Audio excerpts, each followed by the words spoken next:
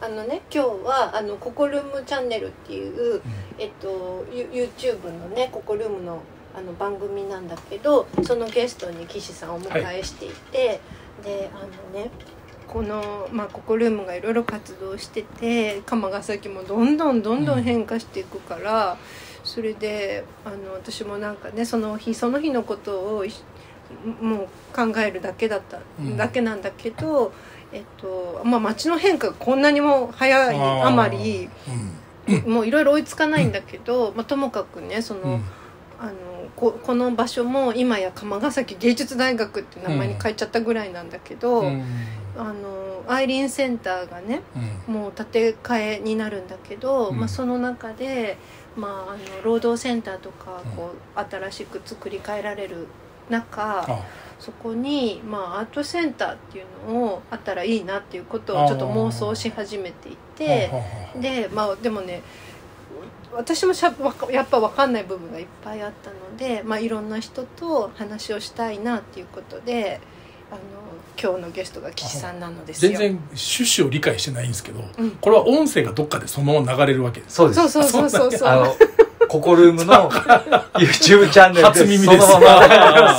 ああ YouTube なんだけど、ん。音声だけ、うですそうですココルームラジオっていうあ番ラジオでやりますはい。あわかりましたそういうふうに喋りますじゃあ、はいお願いします。気をつけて喋りますね。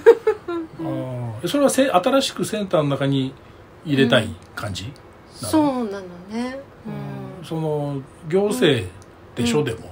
行行政のその箱に箱の中に。一部屋もらって、一部屋なのか、まあ、センターっていう意味合いのものが、うん。アートセンターっていう意味合いのものが埋め込まれたらいいなと思っていて、まあ、それが大層難儀なこともよく分かってはいますが、ともかく言ってみみるっていうことを今言ってやってます。だからこれからその働きかけをしていく段階そうそうそう。だよねだからね、うん。別に決まってもないし、うん決まってこれから働く。ああいいやなるほど、うんうん。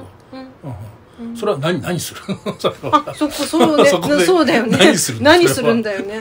なんかねあのーほらほら。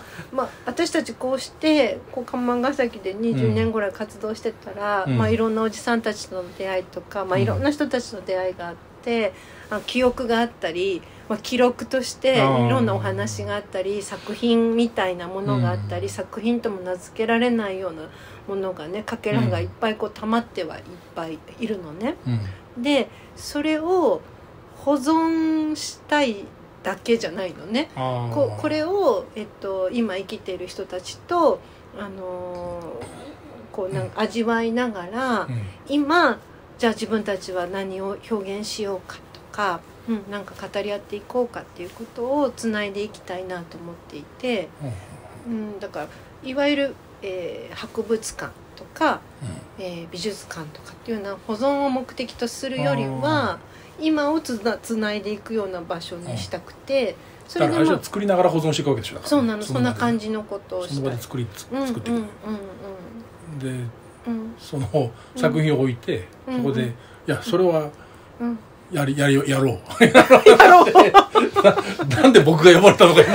今もう一つやりましょう。どんどんやりましょうよそれはやっちゃえよそれは。やれよやろうやろう。やろうやろう。うん。あすごい。賛同を得ました で僕は何をし だからなんかあれですよね。なんか作るよね人っていうのは、うん。うんだからその、うん。僕すごい好きなあの話っていうかうん。新聞記事があって、うん。でええ FP 通信やったかな。あの、うん。何年前かなあれ56年前やと思うねんけど、うん。アウシュビッツの関連施設のうんをなんか解体してるか調査してるか時に屋根裏からうんちっちゃい器具が出てきた。ききオランダの器具オランダじゃないかもしれないけど、うん。木の靴のうん。マスコットみたいなちっちゃい、うん。でそれに鎖がついてて、うん。多分なんかイヤリングだかペンダントのあれだかなんだかわかんないけど、うん。そのうん。でそれが、うん。そのアウシュビッツの関連施設のうん。屋根裏のレンガの隙間に隠してあったらしいの、うん。それがこついこの間発見されて、でそのうん。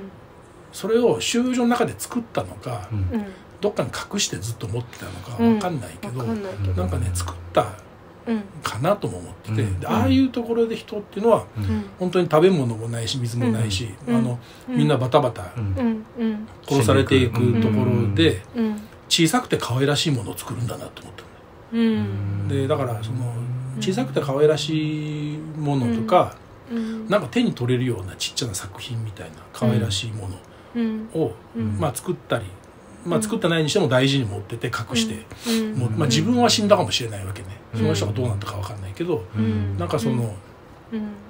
あ人間ってそういうことするんだなと思ったな、うあの時に。んだから例えばそのものすごくそれが現れてるのが多分ココルームで。うん。でさっき見せてもらった段ボールの裏に書いてあったうん。般若心経とか、まあ、あるいはあのからくり博士もそうやし、うん。もっとたくさん、まあ、前小説に小説見せてもらったことがある。ねんけどこの人が書いた、うん。で、うん。えっとなんか人間ってそういうことするよね。うん。作るようね、ん。そのあのなんか例えば自分で作っちゃうおっさんって結構いて。うん DIY っていうか。ね。で僕もあの結構嫌いじゃないんで、うんうん。港南とかに行くと、うんうん。あのいっぱいポケットがついたサファリベスト着たちっちゃいおっちゃんがずーっと工具見てるわけ、うんうんうん。でまあプロかもしれんけど、うんなんか庭庭とか自分の家にうん。なんか自分で配管しちゃうとか、うんうんうんうん。なんか屋根作っちゃうみたいな人って結構いるんで、うんであの友達のあつまきくんな、うん。友達がうん。もう一家がそれで、うんうん。でなんか おと何やったかなつまきくんやったかな誰誰か忘れたけど、うん。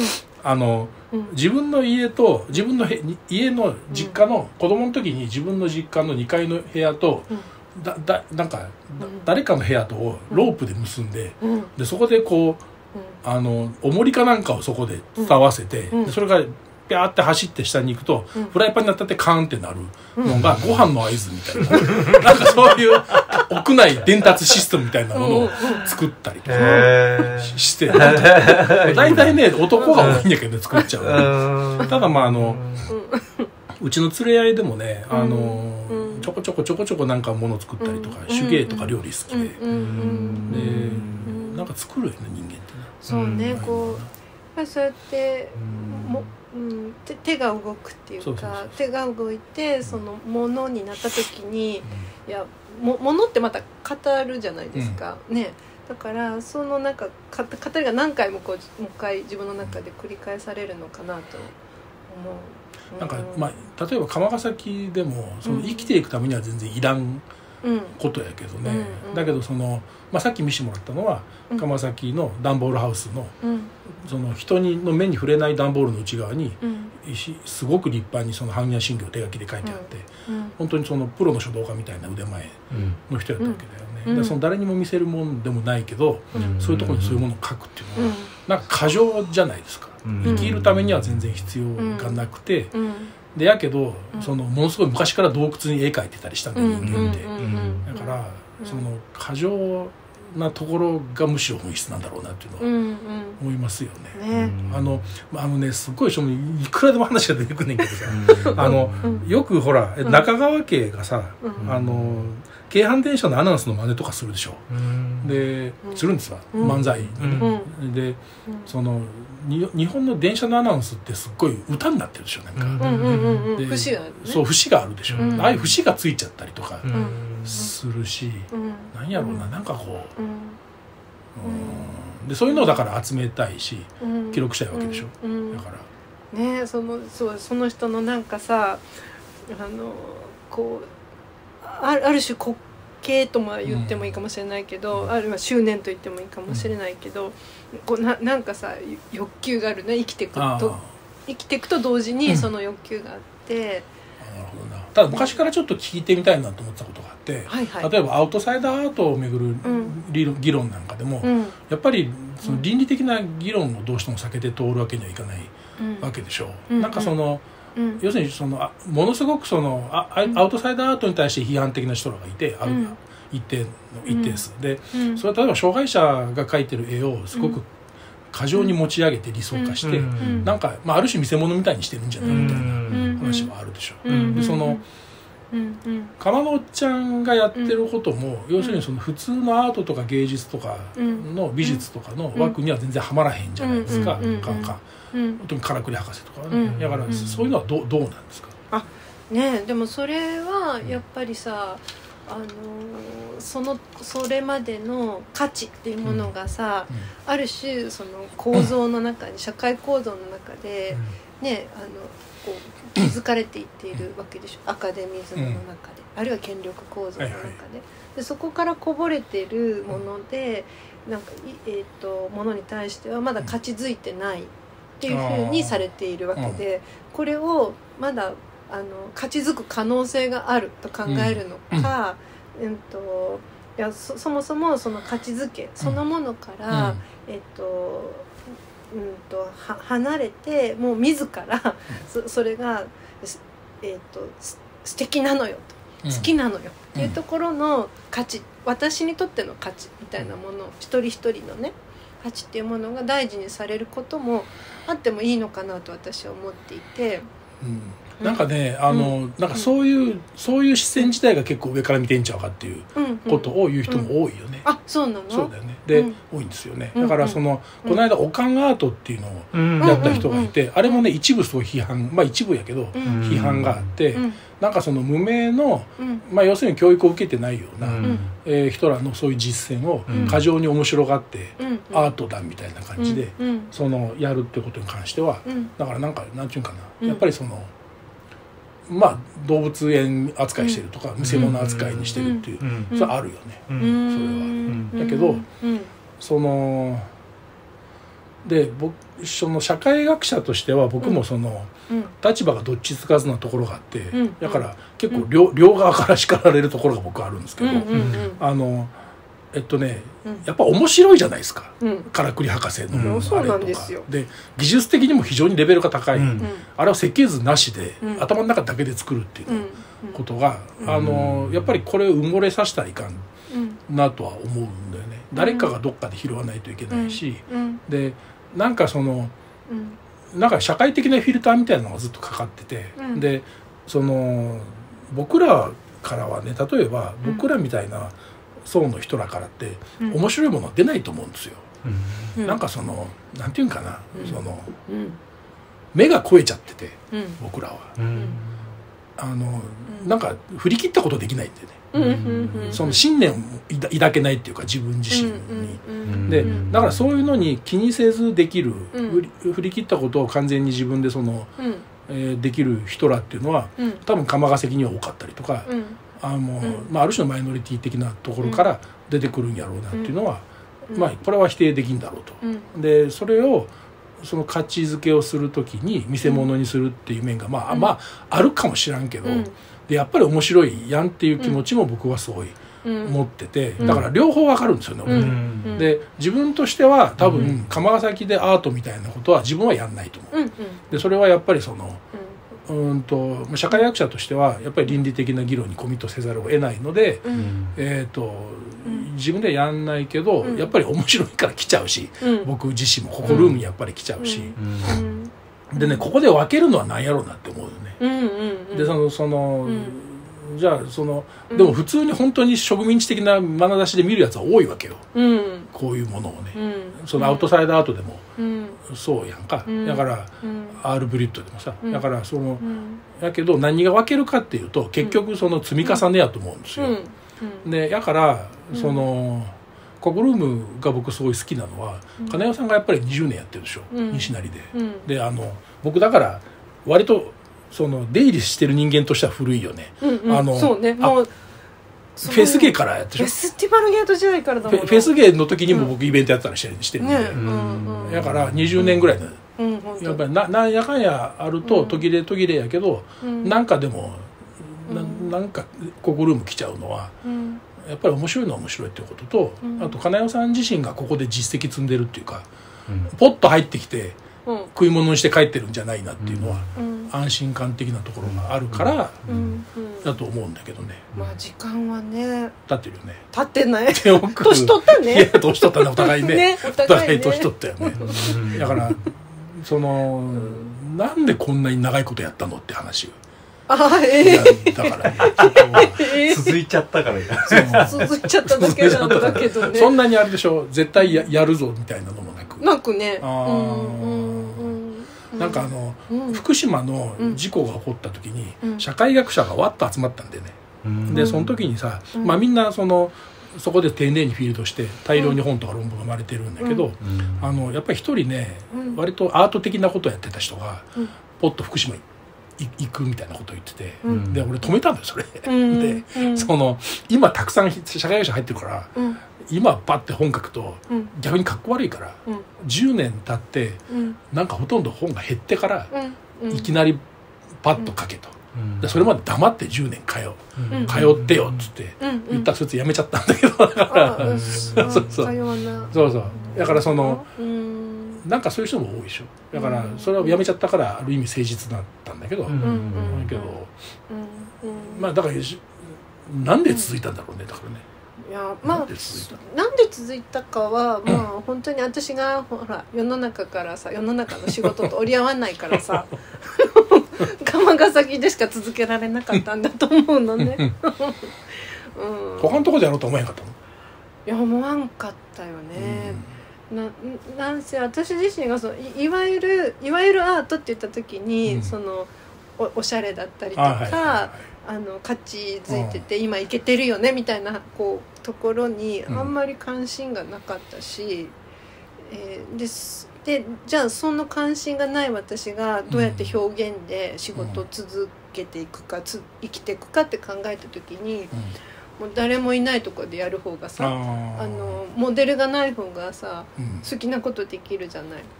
まあでもあれでしょそういう理由だけじゃないでしょそのやっぱり西成みたいなところに。うんうん。大阪のなんか西成みたいなところに対してコミットメントが多少あったわけでしょでも。いやーでも本当になかった。だって フェスティバルゲートに入ったのは偶然だから。か。そっか。偶然だから。あ先にフェスゲーが決まっててそう決まってて。ここに来たのか。そうそうそう。あフェスティバルゲートほんで追い出されるわけよ。ね、どこ行ってもよかったんだけど フェスゲーに、まあ、2003年に入ってあてー20年だな。で隣が駒ヶ崎ででいろんな人たちとこう交流が生まれてでこの町に足を運ぶようになって本当にこの町用事がないわけよ。美味しいパン屋さんがあるわけでもないし。あそうかフェスゲーで入った時にいろんなお茶が来たりとかしてたもんねそうデイリーが生まれてうんうん。でねあの2004年に私果敢にもさこの町で朗読会を開いてるんだけど、でその時に、うんとうん。ある詩のい、うん、フレーズをねおじさんがうん。スポーツ新聞にこうペンで書き写して私に「あーほれ!」って言って見せてくれたりとかしてさなんだこのビビッドな反応はとか思ってねあのケロッとだ騙されちゃうんだけどさ。なんかそうやなそうやな。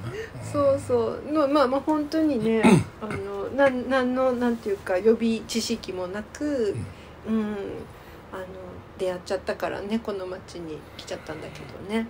そのだからアートって何みたいな話になるよね。うん。そうするとね。そう。だでそのね。詩人だったわけでしょ？私だったって過去形になってるけど。あいや今もだよ。でうん。えっとね、うん。金代さんなんで知ったんかな？レモかな、うんうん、あレモかな。なんかトイレに連れ込んでたでしょ？あトイレ連れ込んでた。うんトイレあの辺でテレビで一回見たんかなんか。ああそう。やったんちゃうかな、う。んうんでうん。そのうん。まあ詩集出したりはしてるけど、うん。なんかその、うん作品自分の作品うん。を作る方向じゃなくてば場所を開く方向になったのはなんで、だだから詩人として仕事をしたかったのね、うん。で、えー一般的には詩人といえば詩集を売っうんて生活するのかしらうん。みたいなこと思うかもしれないけど詩集なんて売れるわけないわけよね、だからじゃあし詩集を出版しないで詩人の仕事をすると。でそしたらどんなことをしたら詩人の仕事になるのかなって考えて、うん。でまあその大阪市さんからフェスティバルゲートの一室をやってみないかって声をかけられた時にそれは詩人として声をかけてもらったからさじゃあ場所を運営するっていうことを詩人の仕事としてやろうと思ったわけ、であのそんなことしてる人あんまり他に知らないから、まあ、あの思いついたことは何でもやると。場所を運営してることが詩になるわけ。そう私にとってね。でもその詩はどこに書くの？詩はねでね追いつかへんのよ言葉が。まああんまりあの頭悪いからさ語語彙も足りないから 追いつかないんだけど、場所をも場所にいると、まあ、釜もそうなんだけどうん。もうなんかもう自分の人生なんかでは経験もししてないようなさ、うん。信じられないようなことがいっぱい起こったり聞いたりするわけで,、うん。でそれをもう一回言葉に置き直すにはそこそこ鍛錬がいるのね。でそれはね全然追いつか追いついてないけど。だからあるある時点で受け身になっていくわけでしょ、どんどんどんどんね、うん。なんか自分が作品うん。を自分の名前で出すよりも、うん。うん。その何て言うんかなた体験を求めていくわけじゃないですか、うんうん。いろんな人と釜とかで出会って、うん。まあしんどいこともたくさんあったと思うんだけど、うん。なんかその体験していくこと自体がアートだみたいな、そうね。でもちろん欲求はあるのよ。これをでもうんなんとか詩にしたいっていう欲求はあるのよ。自分の作品うんねうん、だって私はこれを、うん。まあ、出会わせてもらったわけだから、ん。自分はそれをどう受け止めましたっていうことについては、やっぱはできたら果たしたいなと思うから、うん。自分の仕方はやっぱりそれを詩にすることだしたいなと思ってるから、うん。思ってるけどそれに時間はかかる。まあ、書類会での方が時間長いぐらいだからね。だからね、だから、まあ、助成金取らんとかもね。そうね、うん。もう助成金もやらんって言われるぐらい長くなっちゃってね。大変なの。でなんかある種収入を確保するためにゲストハウスうん開いたりとかしてるわけでしょ、そうそうもう本当にね授業みたいなことをするわけだけど、もうでもさ下手くそなのよね。こう、うん。もっと売れる売れる稼げるゲストハウスにすればうんもっと収入入るだろうに。でもなんかそのこのこのわ私がじゃあ運営するゲストハウスだったらいろんな人が来てくれるよね、うん。っていうことがやっぱ面白いと思うし、うん。うん、そう思うとねなかなかあこうルルブとかに乗ったりするんだけどさ、なかなかならないわけで。なんかでも作品ってなんやろうなと思いますけどねやっぱりいやもう作品わかんないよね。ってなんだろうなっていうのは、うんうん。そのなんか場所が作品ですみたいなのも綺麗事でやしそね。もそも自分の名前でやっぱり作品作りたいわけやから、うん。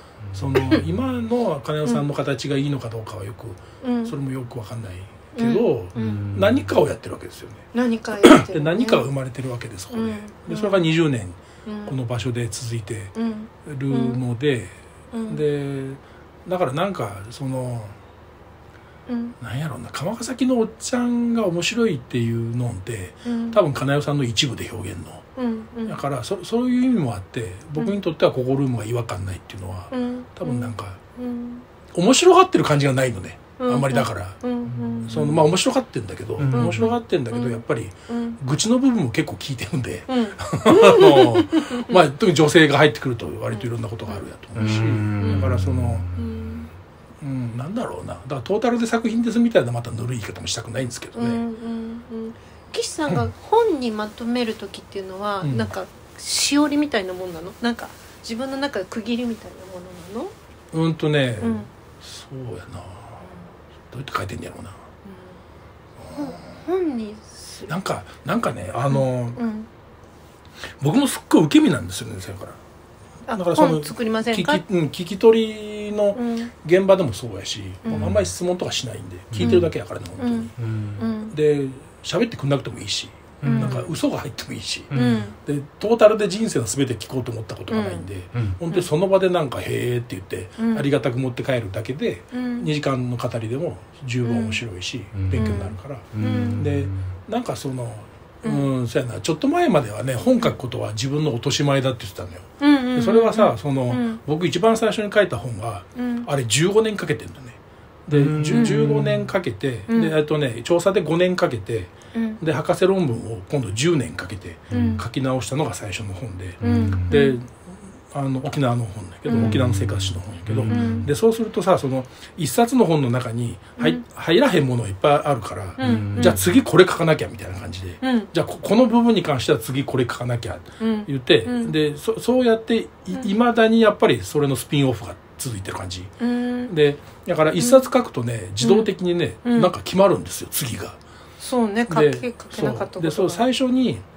最初の踏み出しっていうのはすごい広い原っぱでうん。どこ行こうみたいな。うん。で割と学生とか院生でもさうん。すごい多いのがどのテーマかにしたらいいか分かんないみたいな。うん。どうやって調査してどうやってか書いたらいいのかが分からへん。うん。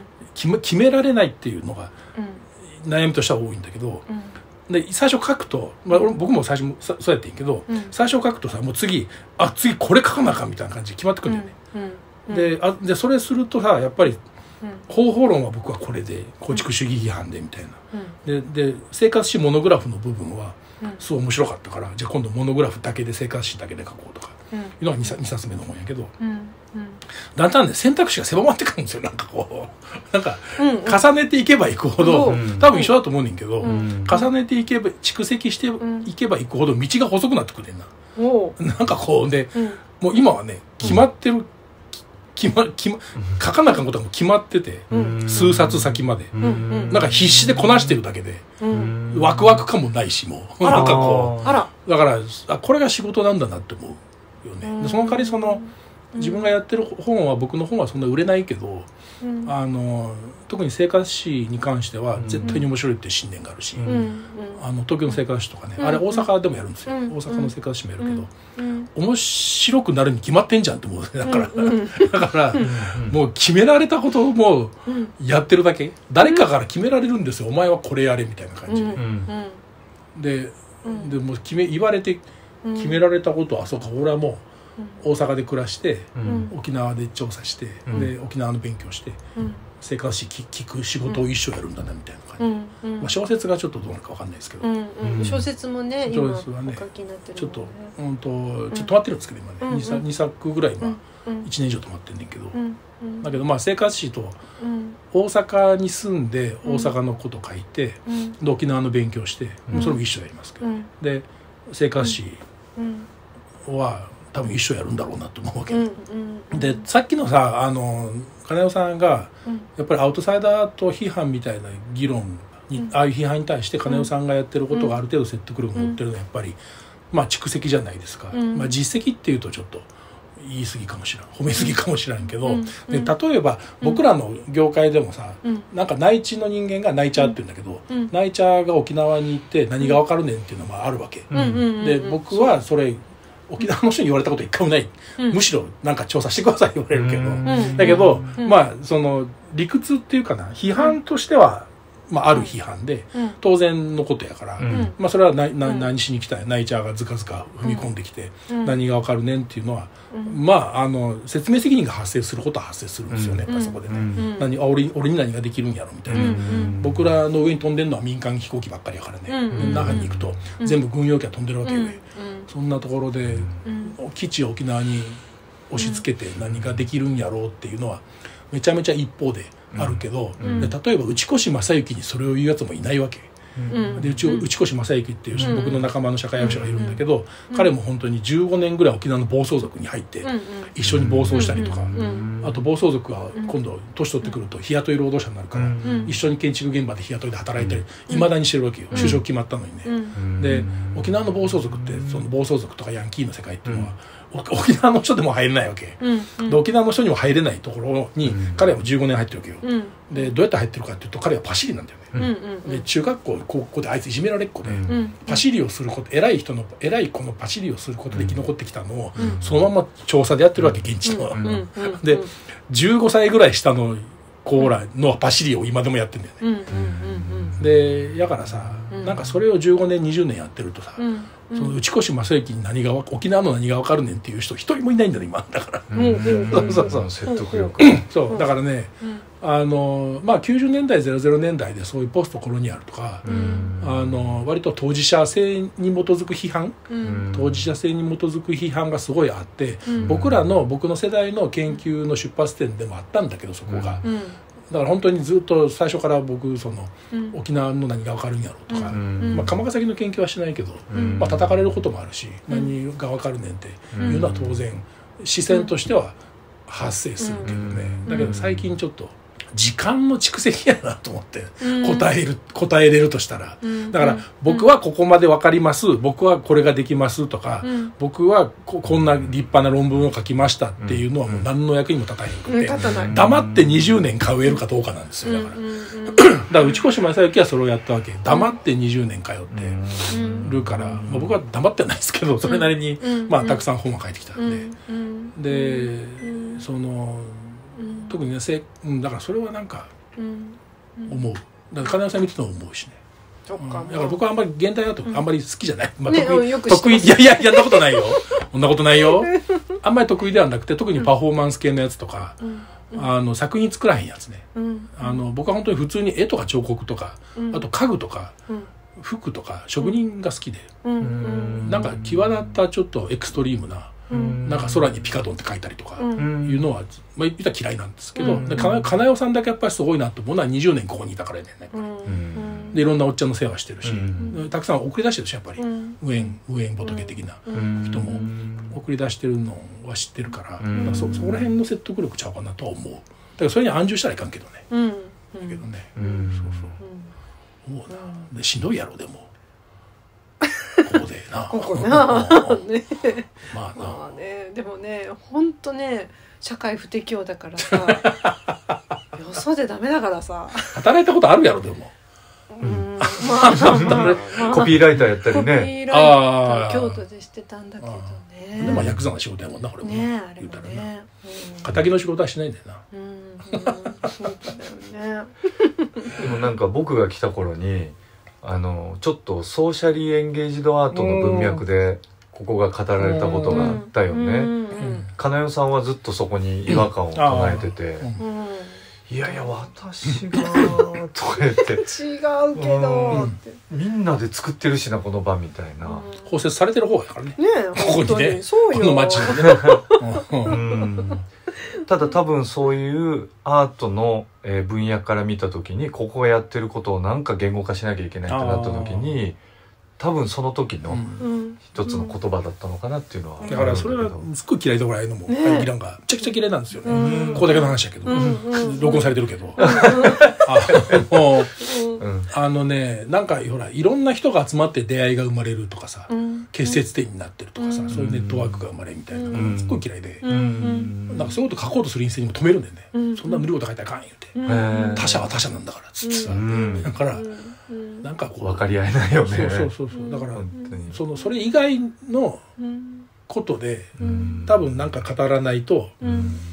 だからまあそうなんだよね。結構だからポッと釜ヶ崎に来る人いるでしょ偉なってから、うん。あまあ誰とは言わへんけどさ、うん。だからそのもう10年通ってから本書けばいいのにって思うよねやっぱりね、うん。だけどそのなんかやっぱりそういうポッと入ってくる人の言い方やっぱりソーシャルエンゲージドなんやなやっぱりな、で出会い出会いがとかさ包摂がとかでしょ、うん。だけどなんか多分もうちょっと金谷さんは現場でザラザラしたもの見てるはずやし、うん。うん。もっと現実っちゅうんかな、なんかこううーんなんかだからいや綺麗事全然ないよね。そこ置いといてうんなんやろうな。なんかそのもの語りたいなと思うな。うん。なんかその意義みたいな。社会的意義みたいなところからアート語るんじゃなくて、うん。例えば唐木田博士の作品がここは面白いんですよみたいな、うん。ここんな面白いやつがおんねんみたいな、うん。こんな面白い作品作る人がおるねんみたいなところで、うん。でまあそのアートってなんだろうって考えたらいいわけやし、うん。なんか社会的意義があるから偉いってもんでもないだろうし、うん。うん。うん。まあ所詮助成金だしねほんでね、でなんかまあちょっとアート系の仕事をすることも多いんやけど、うん。やっぱり基本助成金なんですよやっぱり、うん。レジデンスでもなんでもそうじゃないですか、うん。その間の生活費が出て、うん。うん。1か月ぐらい住んでそこで作品作るとかでしょ、うん。だからなんかあそれで回し回してんだなと思うし、だからなんやろうな。うん。なんかまあそうやな。まあやめとここれ以上はやめとこう。でもなんかちょっと こう泡な感じがしますよね。合わな感じがするんだよね、うん。そうやねんね。だから、うん。まあ、うんなだからでもなんか別にあれあれだよね。だから不思議なのは僕ここルームで最初から通ってるから、うん。別に実績ない頃から通ってるからな確かにそうだなんか好きだったよな多分。ペペラペラやもんね最初はね。そうだよね。フェスゲーの時はね、うん。別になんか、うん。なんか、まあ、なんかやってることは面白かったんだろうなとは思う。けど、へえ今だからね20年やってるから偉いとか言えるけど、うん。そうだ最初の頃は何？まあねね。不確実だもんな。そうそうそうそう。えこう。こその頃ってライブスペースあって若者の就労支援授業をやってたような時ですか？あそう就労支援カフェしててな。んか俺報告書手伝ったことあ高校る昔職手伝ってもらってるのそう報告書でやってうちのあたのアートによる包ココルームのジムをやってた。それこそあれですよ。アートによる包摂ですよ。そうそうアートによる包摂を。そういうテーマで。そうそうそう書いてもらってるアンケート調査した時の自由記述なんかのまとめをお願いしてるんだよね。うちのスタッフが感動して読んでるやつうんあのオレンジのやつだ。はあ。なんかやってたよ昔。ね、うんうん。だけどなんか、うん。まあなそういうのもありやけどうん。もちろんね、うん。もちろんまあ実際にそう包摂っていうかな、うん。実際に何らかのそのつながりを作ってるわけやから、うん。まああれは別に嘘とは言わんけど、うん。なんか最初から面白かったよな、なんかイベントスペースで、うん。イベントスペースで何回かトークイベントしたの俺、うんうん。そうですフェスゲーの時に。そうん、なんかもう昔のおっさんの思い出話になってるけどねなんか。なんか摂食障害の自助グループを手伝ってて、うんそうだそうだ。それのイベントやったことがある。黒猫がいたんだよ。ね黒猫いたね。なんだ可愛くてねあの子がね。そうだね。あそう。住んでた。ああそう。あ 20年経って今もココルームの庭黒猫がおるね。金井さんの事務所で子供産んで。あれいなかったんだよねあれ。で子猫ちゃんいなくなったはい。あねシェアしてくれてありがとうございます。そうそうあれ何人かあの問い合わせがあったけど。ありました。こっちにもありました。でもね本当に子猫が歩ける時点で全員で引っ越していなくなっちゃった。あれ母親が捨てに行くんだよね一匹ずつ、えそうなの？うん、ぶ分散するんですよ。食料が減るからっつって。本だから当全員え選ぶの？共倒れになるから、うん。共倒れになるから全員を分散してそっちの方が生き残る可能確率が上がるあやっぱり。らしいですよなんか。あのね今産んだ子が赤ちゃんの時にその子だけ選んでその子のお母さんが連れてったんです。あであと2匹をね金代さんの事務所にね 託していったわけ。なんかそういうことするんだよ。そうそうそうそう。やっぱりそうなんだ。それもいなくなったのその子らも。そのね残された2匹はもう多分イタチかなんかにやられた。なるほどなるほど。うん。めなんかめっちゃ椅子とか覚えてますよなんか。あのミントグリーンみたいな。あいまだに一脚薄いグリーン。一脚だけあるのよ。あそっか。薄いグリーンのな、うんそうそう。80年代っぽい感じのやつ、うんいやでもね今20年経ってまあ金代さんが突然その跡地にねアーツセンタあーぶち込みたいっていうね 妄想なんだけどそう。あの言い始めたんですよ。うん。で僕らからしたら、うん。まあいきなりアーツセンターって何やろみたいなところからねねなっちゃってうん。でも言ってる当人もよあんまりよく分かってなくてととにかくなんかただ単に記録する場所とか記憶する場所っていうよりは今の表現をおじちゃんたちとやってたいんだっていうその同時進行的な場所として今今を更新していく場所としてやりたいんだっていうことを言い出して、なんかココルームを卒業したいのかなって俺は勝手に思っちゃって。でもそういうことでもないないんだろうなっていうのは話聞いてると思うんですけどただねなんかこのアーツセンター。別にな、うん。ここでやればいいのにって思うよね。そうだからアーツセンターとここでやんないの？あのね別にしたいの？そこは。いやいやえっ、とねいやこここでもいい。ままっていうかもうここで多分やってると思うのよ そういうこと。をそういうことやってるのよね。うん実際。うん。うん、ところがですねあのこうもうちょっとと鳥になってよ。と飛んでみるとよ。あの俯瞰してみると俯瞰してみると、うん。あの南海の南海と JR のあの線路があって、えー向こう側に星野リゾートが今立っていてで、えー大きまあ、ちょっとした土地としてアイリンセンターのあうん。の跡地があると、うん。あそこに、えーあそこはやっぱりある種象徴的な場所で、うん。そこにあの労働センターをまたつって決まってて、でどうもまあえっ、と、えーにぎわい福利のための施設を作りましょうって今機運になっているの。ね。でその時にあのこの町をさうんのなんて象徴する労働センターがあってにぎわいと福利って言った時にそこになんていうのかな、まあ、アーツセンター、まあ、西成アーツセンターっていうこう言葉が入ることによっうん。てそのこの町がもう一回生き生きすんじゃないのかしらっていうような なんかねちょっと希望を込めて言っている。まあそうやな、うん。だからもうもうちょっとパブリックにやろうって感じうん。でしょだから。うんうんなんか釜ヶ崎芸術大学でいいんじゃないのとも言われるんだけど逆逆に言うと今度は芸術大学って言った時に今度は学生になんなきゃ入れないんじゃないのって思われちゃうんじゃないかと思うのでいやそうじゃなくて釜芸は本当に誰でもなんだけどその誰でももっと拡張した時の言葉としてアーツセンターかなと。釜芸は釜ヶ崎の人集まってるの今？えもうとっても少ないあとっても少ないね。みんなもうもうねほとんど年一期生の人は卒業して天国だからね。あそっか、うん。うん。結びとかあって？続いているよ。でも第三世代になってる。ううんんうん。まあでもあれでしょ？そのからくり博士みたいな人がいたりとか。そうそうそういうのはぼちぼちうん。いいるのね？いいるいるです。表現してる人っていうのは、いますね。で作品も溜まってきて、まあそれはそっちに置いて、パブリックなところでシェアして、うん。で同時にそこで場所うん。そこそこで表現のうん。創作もしてもらって、そうね。でうん。きっとこれから外国人の人も流入してくると思うのね。うん。でそういう人たちがえっとねうん。このこの町やこのうん地域の人たちと交流しようと思ったらうん。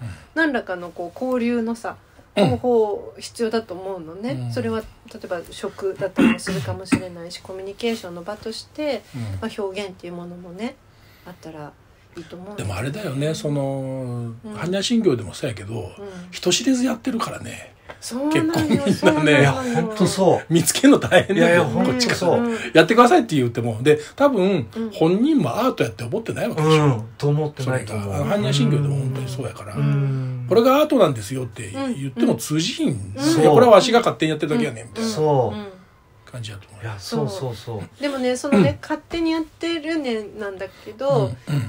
人にもよるんだけど、うん。見てほしいとも思ってらっしゃる人もいて。あもうねおるね。うん並べたりしてる人もいるよね、並べたりしてる人もいて、うん。でまあそのなんていうのかな人に見られるっていうことは私は空気に触れるっていう風な表現の仕方をするんだけど、やっぱり空気に触れるって、うんそこはね更新していくっていうか新しくやっぱなっていく、だから本当はその、うん。あのまあ、理想というか目標としては、うん。人知れずやってるおっちゃんにもその活動が伝わるような、うん。うんあれうん回路があればいいんだけどってそいうことやわな。のなあわしもここでやってみようかなみたいな、うんうんそう思ってくれたら一番いいんやけどね,、うん。ねどうしたらいいのかよね、それはね、うんね。うん。うんなんかだからそのアートじゃなくてもいいわけでしょ。全然アートじゃなくていい、うん、そこら辺なんだよな。だからそう そもそ分かるもけどだからその辺の受け身さがさ、うん。多分僕がやってる生活史の聞き取りとすごい共通してて、うん。何聞いてんのって、うん。うん。あと何聞いたらいいですかって言われても分からへんのね、分からへんのよ。うん。うん。うん。とりあえずうなずいてるだけとかう言ってで、うんまあ特にちょっとその、うん。テーマが今今やってる調査がテーマが重いんだけど沖縄戦のうん。聞き取りをするんやけど、うん。断られることが結構多くて、で沖縄戦経験してないっていうわけ、うん。まあ女性が多いんですそういう人はね、うん。まあ、女性ってそういうその、うん。教育のされ方をしてるんやと思うねんけど、うん。あのうん。私はその熊本に疎開してただけやからとか、はい。あの私はそのやんばるの森に逃げてただけだから、うん。すごいその姫寄り的なうん。南部の激戦地に行ってないんでうん。知りませんっていうわけ。だから、うん。沖縄の人にまあ僕らもそうやけど、うん。沖縄戦っていうとさ大体イメージがあってうん。すごい残酷で凄惨な地上戦のうん。姫寄り部隊的うなん感じの物語を聞きに来たんやなって思われるんですよ。ね。うん。でいうん。やそうやなくてうん。普通に熊本に疎開しに行ってそこで初めて雪見たみたいなうん。話もうん。沖縄の人の大事な経験やからうん。そこも聞かせてほしいんですっていううん。ことを説明するのが結構まあ一回言ったら分かってくれるんだけどはい。だから最初はね一言断られることが多くてうん。やっぱりその型ってみんな持ってるから。だからそのうんその段ボールの内側に般若心経を書くことがアートなんですよってうん。僕らは思ってるでしょ。うん。で本人がねやっぱりそう思ってないことは、う。んまあ空気に触れさせたいと思ってる人も多いと思うけど、うん。やっぱり人知れずやってる人の方がはるかに多いんちゃうかなとは思うね。でうん。例えばうん。聞き取りを僕らはさすごいそのこれも植民地主義的なうん。ロマン主義かもしれないけど、うん。内縄口とかがうん沖縄の方言が入って、うん。地のぶあの地元の本当に普通の人らが普通に語ってる方言混じりのうん。砕けた話し言葉が僕はすごい好きやから、うん。一語一句そのまま起こすんやけど、うん。それね送るとねやっぱり叱られることがあって、うん。もっと綺麗に綺麗な言葉に直してくれ。ご本人が？そう。でうん。あのねじれてるわけでしょ、うこっちうん。こっちからするとさ、うん。もうそのまま方言混じりでなんとかさつって喋ってる方がうん大事で、うん。沖縄のことを、うん。沖縄に寄り添って沖縄のことを大事にうん。しようっていう意図でやってることが、うん。本人からすると恥ずかしいから出す出さんとってくれって言われる、うん。でそれはそういう教育の積み重ねがあるんで、うん。しょうがないけどやっぱりそういうこ言われた時にすごいこっちもなんか悩む、うん。やっぱりいろいろうん。お話しして、うん。えっとなるべく残すようにはするけどそういう時はね変えちゃう。うん書き換えちゃうやっぱり。それは。うん。ごご本人の気持ち気持ちの主にそうそうそう意思に意思を尊重して。だからうん。そのうん。それは僕のやり方の違反なんだけどうん。やっぱりねこれはその本人を傷つける権権利は誰にもないのでえっとん。だからその辺のねじれを多分これからどうするのかっていうのが結構僕らがやってることの最大の問題になってくる、うん。要するに本人が価値があると思ってないことをこっちが価値づけするわけでしょ、うん。だからうん。アウトサイダーアートの批判でも元をたどればそれで。そうだよね。ううん。んこここっちが勝手に価値づけしちゃうものっていうのがキュレーションというなんかその権力みたいな。搾取なんちゃうかとかいうのもあるし、うん。それが植民地主義そういうロマン主義がうん。そもそも植民地主義なんちゃうかとかうん。のもあるし。うん。だからなんかそそれがねなんとなくなんとかうまく回ってうん。そのとおっちゃんおっちゃんおばちゃんがね、うんうん。そのややりたいなって思ってくれたらいい。なんかねだけどね。あの2つぐらい話したいことがあってね、うん。えーこうあそう井戸掘りしてる時にその釜のいるえーうち、で働いてくれてる人がねすごい頑張ってくれてたわけ。でその人は最初取材を受ける時に、まあ、これまでの過去があるので偽名加盟にしてくれというふうに言う言うわけねであの私たちもじゃあそういうことなので記者さん加盟でお願いねっていうふうにしてたんだけど、もう何回も何回も語っていくわけよね。自分の人生とかここに来て今井戸掘りしててこんなこと思ってるとかって。で何ヶ月かしてたらとうとう本名でいいって言い出すあそうそうそう。そうそういうのはあるよね。とかあとその、一緒に活動してて、あのめっちゃこう取り上げてもらううん。スポットライトが当たるようなあ釜ヶ崎オペラシありましたとか、まあ、そういうようなことがあるんだけれどもそれで、えーそれでもさ終わった後にさいつも通り集まるんよね。うん。いつも通りに「あボスかボスか」言ってるみたいな、そのいつも通りが一緒にあるからこういう活動してても、えーまあ何かスポットが当たろうともなんぶれないっていうかさ、そういうことのやっぱ積み重ねがすごい大事やからいやでもあの岸さんの今の話を聞きながらいやーもうなんか。そうその人のねねじれを作ってしまってるさそのことに対してどこまでじゃあじ自分がうん。ね向き合っていくかっていうのを。なんかね名前問題はね、まあ、僕らは本当に最初から最後まで付きまとう問題で、ね。で、まあ、沖縄の人はみんな優しいんで、うん。もう逆で今度実名でいいよいいよって言うわけ。あ全然いいよ何でも書いてよそれ、うんいいよってうん言ってで、うん聞いてうんあのプリントアウトして持ってくと、うんこんな出されたら困るっていうねだから普通の人ってさうん自分の喋った言葉がそのまんま一語一句活字になることがまずないわけよ、うんうんうんで録音されることもないわけでしょ、うん。僕ら録音する時って大体法的に揉め事が起こった時、うん。相続で揉めるとか、うん。とかだからそのうんそれそれ自体がすごいギョッとすることやねんな、うん。人の普通の人にとっては。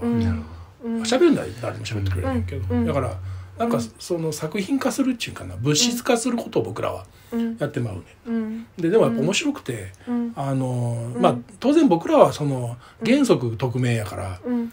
えっ、とまあ匿名にするんやけどこれでもやっぱり活字にするとギョッとするみたいで、うん。あの、うん。こんなん知ってる人が見られたらわかるからって。いや知ってる人は知ってんじゃんこの話って思うよ。知ってる人やったら別に知ってんちゃうっつって思うけど あのまあでもねあかんって言われたらもう出さへん。一緒それはもうお蔵入りっていうか、うん。であのやけど例えば実名でいいっていう人でも、うん。やっぱりそのうん。こんなん出されたら困るってなるし、うん。今度逆に匿名でいいっつって匿名にしてくださいって言って全部地名も伏せてか書くんだけどうん例えば東京の生活史とか沖縄の生活史でやってることやとうん聞き手は実名で出すんだよね、うん。まあ聞き手も匿名の人は匿名だけど、うん。例えば聞き手が実名を出してて、で語り手が母親とかの場合に「うん。お母さんはさ」とかって言ってんのよ。うん。でそうするとさ語り手は匿名にしてるけど 簡単に特定できるわけでしょ、でもそれはねかいいって言うんだよ。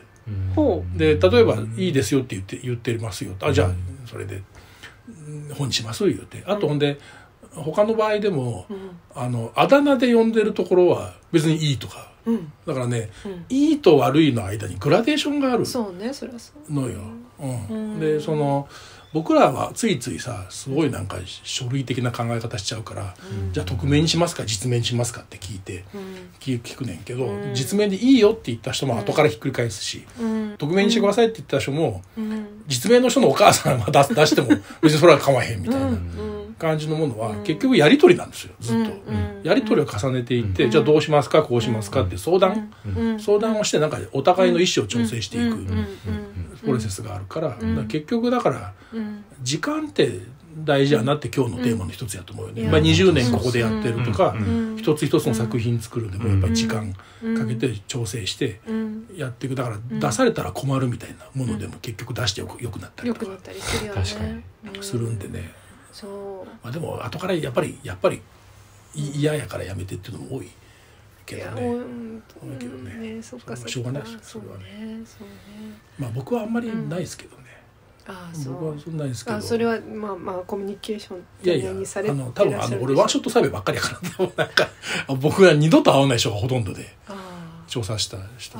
僕苦手なんですよ人とあそうなの？つ付き合いをすることが苦手で、で特に生活史って聞いた後に僕本人チェックするのがすっごい苦手で、うん。だから例のあれも5年も経ってるわけ、うんうんだからうん。あの、ん。それそそその聞いた話を本人に送るのがどうしてもできない、重すぎて、重すぎて。こんなもの送ってへんかなみたいな感じ、うんうんうん。聞くのは聞くくせに、うんうんだからそれ苦痛でそれが。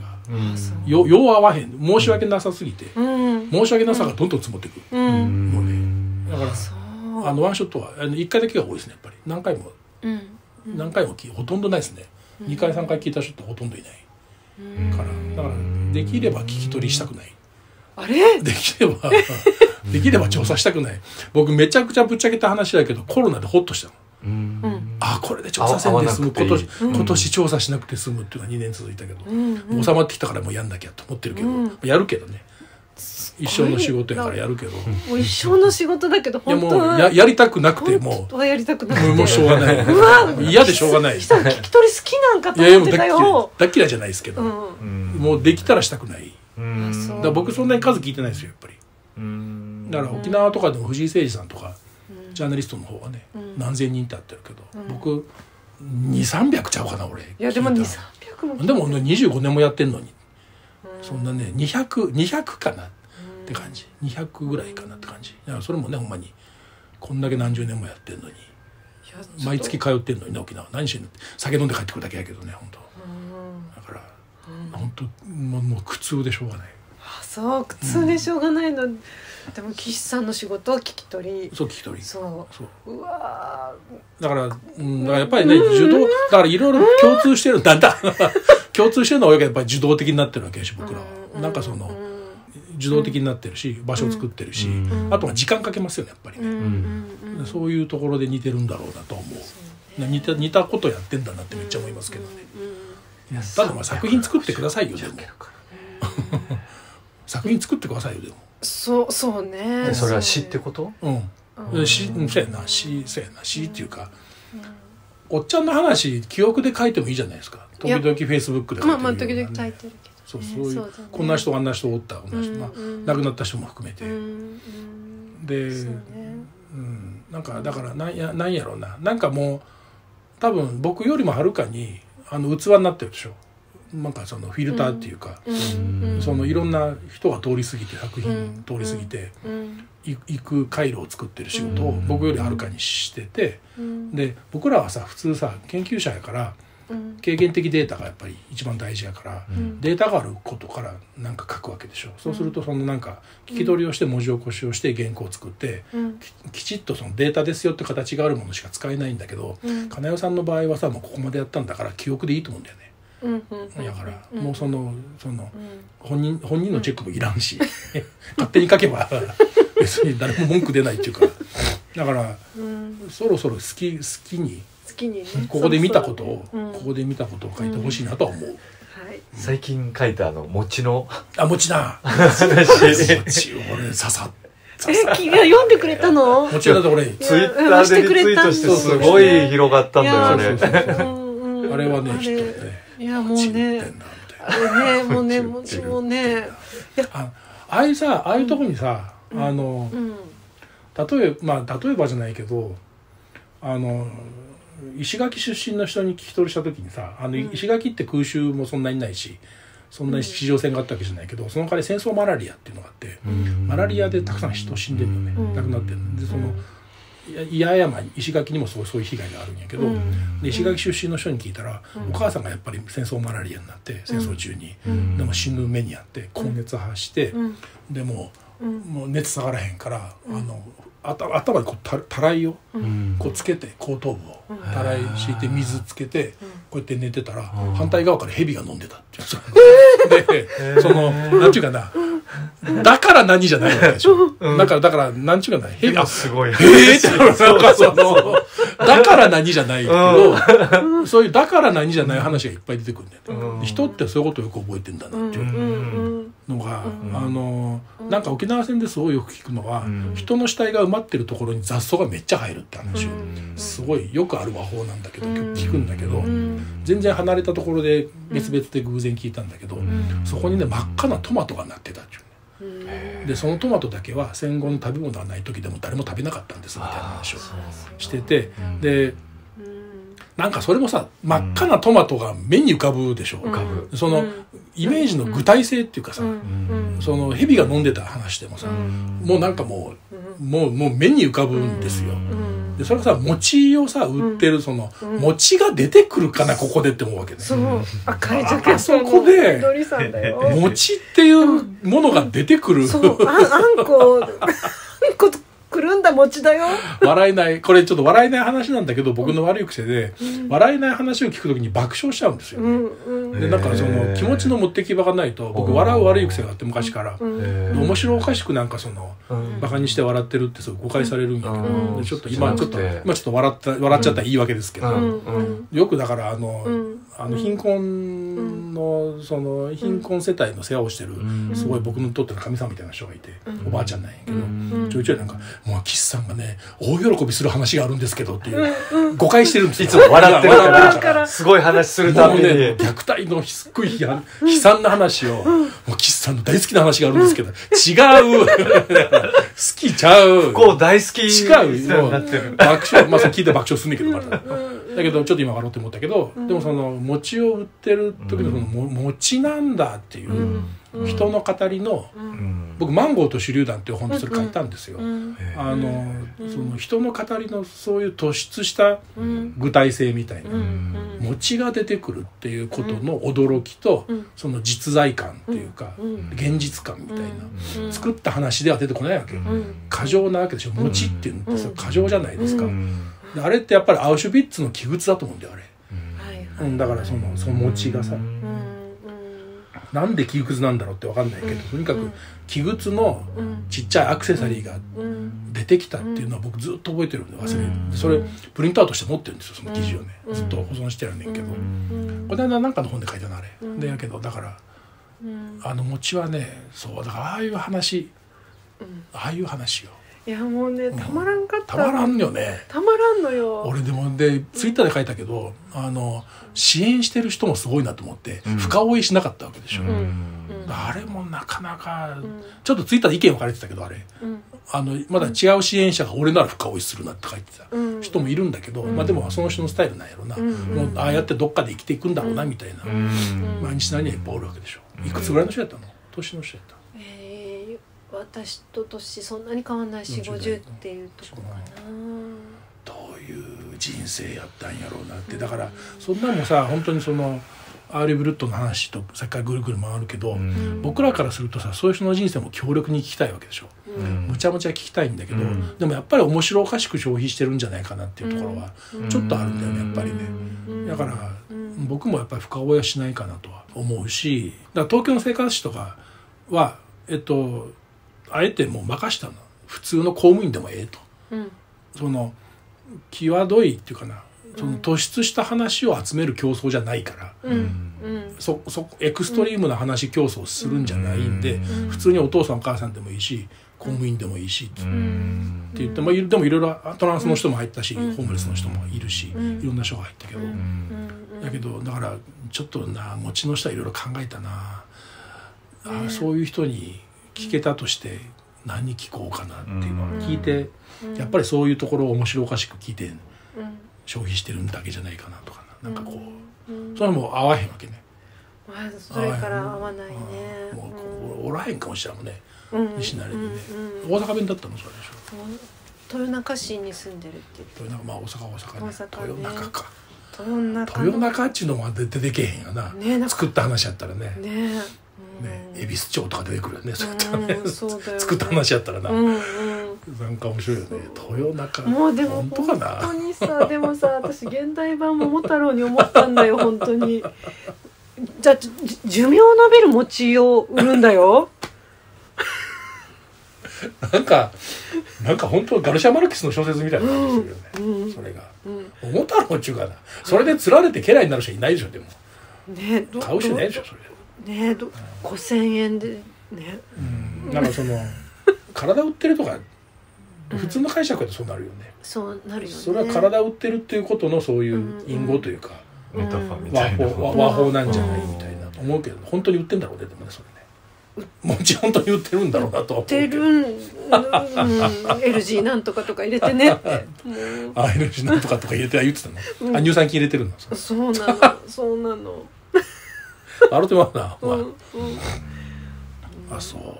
そう。だからあの、ま、幻みたいなねもう,、ま、もうねうん。赤いコートジャケット着た緑さんだからね。みどりさんだからね。もうね何から何までねこう映像的なのよ。まあそういう人にまたんで会う人と会わへん人俺はね。うん。なんかそういう人によく会う人と。あうん。んまり会わへん人で僕も割とよく会う方やねんけどね、うん。そういう人には、うん。私も別にもうね早く帰りたかったんだよしんどくて。なんか、ね声かけちゃう。んだよねそうだからそういう、うん、なんかそういうのをたくさん書いてうん。それこそああとねそうそう、うん。書くときにやっぱりうん。エピソードごとで一個ずつまとめずにうん例えば500ページぐらい一気にそれをつなげてうん。うん思いつくままに書くとかさ連続して、うんうんだからうん。たそういうの書くときにさついつい一個ずつま,、うん。まとめた話でうん。第1話みたいなのすうんるでしょ、チャプター分けちゃう。うん。ま、全くなしで。うん。だからうん。な100万字ぐらいうん。多分全部つながってる本がそれで話変わるけどでもいいし別に、うんうんうん。今思い出したけどとかこうんんなこともあったみたいな感じで、すごいな。そうそうそうそう枠作らずに書いてほしいなと思う。なるほどね。うん。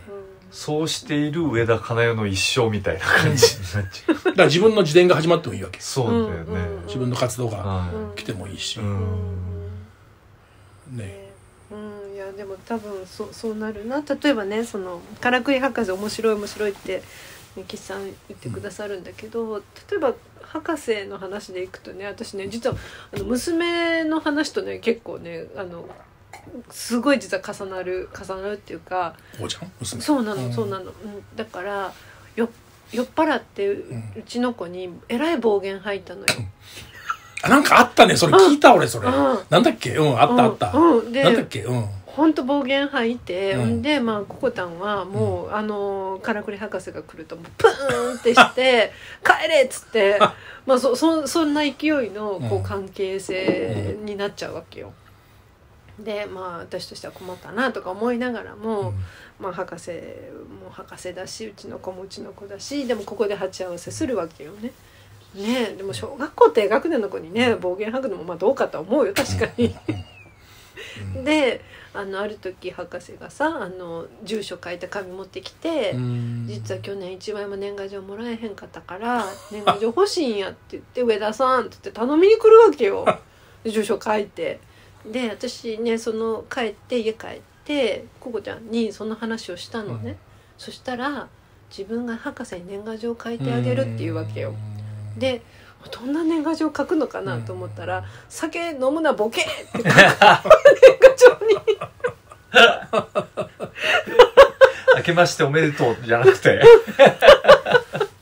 それ相当喜んだんちゃうそうそう、うん。うん、でそれはやっぱりそこから関係がちょっとずつ変わっていくわけよね。うん。ちょっとずつ。博士博士のさ家で聞き取りしたうんんだけど、あれ夏でね、うん。あエアコンない、エうん。エアコンのないアパートやって、うん。うん。でもそういい人やから、うん。あの扇風機をめっちゃ近づけてくれて、うん。ガッて。首振りにして、うん。であーしまったと思ったけどもいいやと思って断られるのもあれやしなと思ってさ、でデータ聞いたらさ、私がなんとかボボボボボボボボボやった時にそれからボボボボボボボボってやっぱりもうねこうななってって風がむちゃくちゃ入るうんってね直接当たってる時が。当たってるわこれみたいな。あれでもおちょこししたかな。博士とめっちゃ思い出す。うん。ああうん本当はいい人みたいな。本当はそうそうそう。うん。なんかちょっとあの聞き取りの現場のちょっとエピソードで学生に言うこの話は。うん。風気付け合い。さ